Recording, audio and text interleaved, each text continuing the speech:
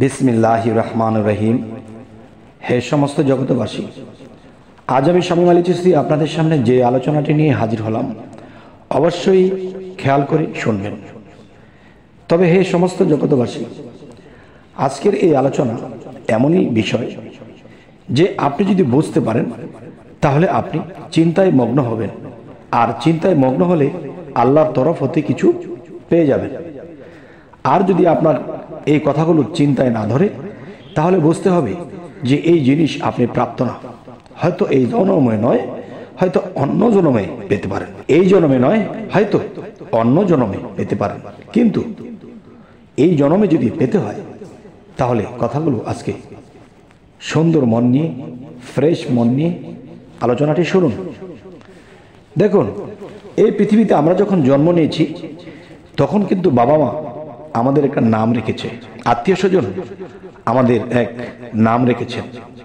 কারও নাম সেলিম, কারও নাম শামিম, এরকম ধরনের নাম রেখেছেন তাহলে এই যে নাম রেখেছেন এই নামে কিন্তু পৃথিবীর মানুষে আমাকে দিন দিন চিনতে থাকে যে তার নাম ইমুক। তাহলে আজকের কথা হবে যে আল্লাহ যিনি সর্ব বিশেষ সর্বশক্তিমান যিনি তিনি হাসরের দিন আপনাকে একটা নাম বলে ডাক দেবে। যেই নামটি ধরে আপনাকে ডাক দেবে, সেই নামটি কি আপনার জানা হয়েছে কিনা? সেই নামটি কি আপনার জানা হলো? নাকি জানা হলো না? যদি না জেনে থাকেন, অবশ্যই অবশ্যই আল্লাহ বলেছে এটা জানার জন্য। হজরত আলী, যিনি, তিনি কিন্তু একটি কথা বলেছিলেন, মান আরাফা নফসাহু ফাঁকাতারা রব্বাহু।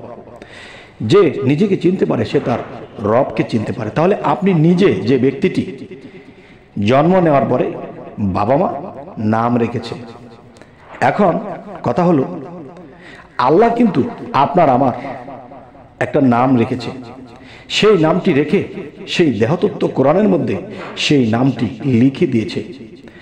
এবং সেই একটি কথা বুঝতে হবে যে কাগজে কোরআন লেখা আছে, তাই আমরা এটাকে কাগজ কোরআন বলি। আর দেহ কোরআনও বলে থাকি যে দেহের মধ্যে কোরআন আছে বলেই তো, দেহ কোরআন বলা হয়েছে। তবে হে সমস্ত জগতবাসী যে আমরা পৃথিবীতে এসেছি বাবা মার যে নাম, সেই নামে কিন্তু আমাদেরকে ডাকা হয়, আমরা সারা দেই। আল্লাহ যে নাম রেখেছে, সেই নামটি আমরা জানি না। এই সেই নামটি যদি আমরা হাসরের দিন উঠি, তখন সেই নাম ধরে যখন আল্লাহ ডাক দিবে, আর আমরা যখন সমুখ দিতে না পারব, তখন কিন্তু আমরা অপরাধী হয়ে যাব। এই জন্যই কিন্তু বলা হয়েছে, যেমন মস্তবী শরীফের মধ্যে এই কথাটি বলেছে, যে, মান আরাফা নাফসাহু ফাঁকা তারা রাব্বাহু। সর্বপ্রথম তুমি তোমার নিজেকে চিনো কে তুমি, তোমার পরিচয় কি, এবং সেই পরিচয় তোমার মানব দেহের মধ্যে কোথায় লেখা আছে। আচ্ছা তো এখন দেখেন, আমি নিজেকে চিনতে হলে একজন চেনা লোকের কাছে আমাকে যেতে হবে। আর সে চেনা লোকটি কে? দুনিয়ার কোনো সাধারণ মানুষ? না তিনি এমন মানুষ যার সাথে আল্লাহর কানেকশন আছে। তাই বলা হয়, পীরে আল্লাহ প্রাপ্ত বিষয় সত্য তত্ত্ববিধান পীরের কাছে, যদি সে পীর কামেল হয়। আচ্ছা তাহলে পৃথিবীতে অনেক মানুষই কিন্তু মরিদ হয়েছে, বায়াত হয়েছে। এটা হওয়ার কথা আল্লাহ কোরআনই বলেছে, তাই হয়েছে। কিন্তু আমরা দুনিয়াতে যদি দুই লক্ষ টাকার স্বর্ণ কিনতে যাই কোনো দোকানে, তাহলে স্বর্ণ দেবে, আমি টাকা দিয়ে এনে ফেলব? তা না।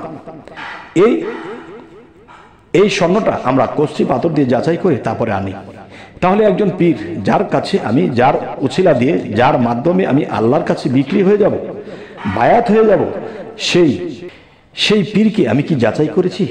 তাহলে সেই পীরকে যাচাই করতে সেই কষ্টি পাথরটা কি? আচ্ছা সেই কষ্টি পাথর হিসেবেও এই কথাটি নিতে পারেন নিজকে চেনার মতো যে একটা ইঙ্গিত সেটাও নিতে পারেন। তবু বলছি, আবার কথাগুলো সুন্দরভাবে শুনুন। দেখুন যে আমরা এই পৃথিবীতে এসেছি, কিন্তু খাইলাম, লেখাপড়া করলাম, চাকরি করলাম, ভালো চললাম, কিন্তু নিজেকে চেনা হলো না, নিজের নাম জানা হলো না। কে আমি? কে আমি, আমার পরিচয় কি? সেই পরিচয়টি আল্লাহ দেহ কোরআনের মধ্যে লিখে দিয়েছে। আর সেই দেহ কোরআনের মধ্যে আমরা গোসল করতেছি, শরীরের অঙ্গ প্রত্যঙ্গ দেখতেছি, আমরা হাত, হাতেতেছি, কিন্তু আমরা এই অঙ্গ প্রত্যঙ্গের মধ্যে নিজের পরিচয়পত্র পাইনি। আর এই পরিচয়পত্র পাইনি বলে একজন চেনা লোকের কাছে যেতে হবে। সেই চেনা লোকটিকে একজন কামেল আউলিয়া, আল্লাহর বন্ধু, একজন কামেল মুর্শিদ, তার কাছে যে আমাকে নিজের পরিচয়পত্র নিতে হবে। আর সেই পরিচয়পত্র যেদিন আমি জানব, তখন আমি নিজেকে চেনা হলো আর নিজের পরিচয় নাম জানা হলো। তখন হাসরের দিন যখন ওই নাম ধরে আল্লাহ ডাক দিবে, তখন সুমুখ দেব। তখন আল্লাহও বলবে যে, নাম ধরার, নাম ডাকার সাথে সাথে সে সুমুখ দিয়েছে, তাহলে সে নিশ্চয়ই আমার কোনো বন্ধুর কাছে গিয়েছে। সেই বন্ধুর কাছে গিয়ে তার নিজের পরিচয়, নাম জেনেছে।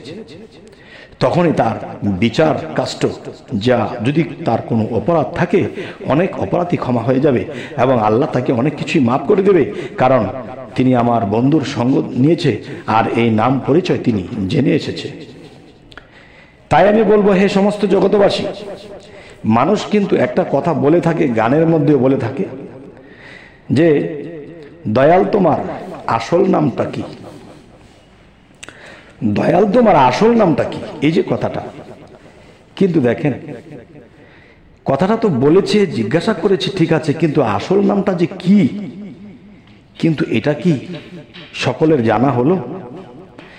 তাই আমি আপনাদেরকে বলছি যে নিজের পরিচয়খানি, রুহানি জগতে আল্লাহ আমার একটা নাম রেখেছে এবং সেই রুহু যখন দেহের ভিতরে ভরে দিবে, তখন কিন্তু সেই দেহের মধ্যে সেই নামটি লিখে দিয়েছে। সেই নামটি যদি আমরা দেখতে পারি, বুঝতে পারি, চিনতে পারি, তাহলে আমাদের জীবন ধন্য। আমরা আর থাকব না, শূন্য হয়ে যাব, পূর্ণ। হে জগতবাসী আমি এই কথাগুলো আপনাদের সাথে বলতেছি এই জন্য যেন আপনারা এই পথ পান এবং নিজ পরিচয়গুলো পেয়ে যান। যেমন আমি একটি লোকের সাথে কথা বলেছিলাম যে দেখেন, আপনার সাথে এই মুহূর্তে কথা হবে মারেফাতের দেশে। সেই লোকটি বয়স হয়ে গেছে সত্তর, পঁচাত্তর। সেই ব্যক্তি, তিনি বায়াত বা মরিদ হয়েছেন, তার তিরিশ, পঁয়ত্রিশ বছর আগে তিনি মরিদ হয়েছেন। তখন তাকে জিজ্ঞাসা করলাম যে, আপনি বলবেন যে পৃথিবীতে জন্ম নেওয়ার পরে আপনার পিতামাতা আপনার নাম রেখেছিল। তো মানুষের রুহুটা যখন দেহের মধ্যে আল্লাহ ভরে দিবে এবং ভবের বাজারে আমাদেরকে ছেড়ে দেবে, তখন কিন্তু সেই রুহানি জগতে একটি নাম আল্লাহ রেখেছিল এবং সেই নামটি আপনার দেহের মধ্যে লিখে দিয়েছে। পৃথিবীতে এসে বিভিন্ন শিক্ষা নিয়েছি, বিভিন্নভাবে চলেছি, জেনেছি, কিন্তু নিজকে চিনলাম না, নিজের নাম পরিচয় জানলাম না। তাহলে সেই নামটি দেহের মধ্যে কোথায়, কীভাবে লেখা? বলবেন।